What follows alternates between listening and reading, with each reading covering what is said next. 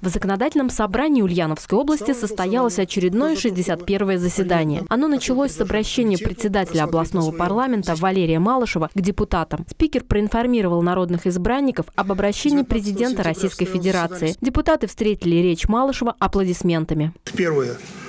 Он сказал, что Россия поддержит своих братьев на Донбассе. Это первое. Второе. Он объявил частичную мобилизацию – и третье, он попросил, чтобы его поддержало население Российской Федерации. Я думаю, от имени всех депутатов я выражу общее мнение, что мы тоже окажем поддержку решений президента.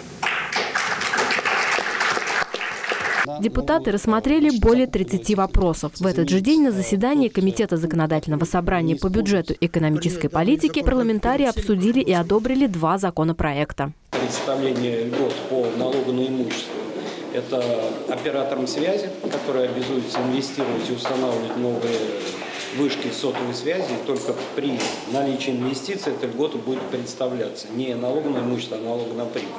О внесении изменений в закон о налоге на имущество организаций доложил министр жилищно-коммунального хозяйства и строительства Ульяновской области Александр Черепан.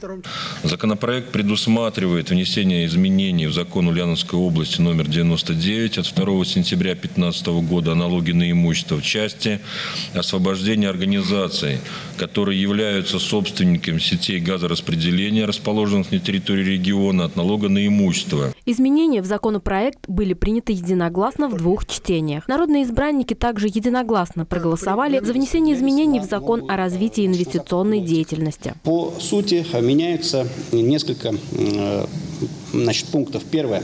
Э, мы предлагаем по предложению Корпорации развития Ульяновской области в целях сохранения статуса особо значимого инвестиционного проекта Ульяновской области, это АЗИП, э, предусмотреть продление срока завершения реализации особо значимых инвестиционных проектов до 31.12, до 31 декабря 2025 года. На заседании парламентарии также приняли изменения в законы о порядке выдачи направлений для детей-сирот в специальные организации, а также о квоте для приема на работу инвалидов на территории Ульяновской области. В завершении депутаты обсудили примерные детальный план работы законодательного собрания на четвертый квартал 2022 года. Валентина Никонова, Герман Баранов, Улправда ТВ.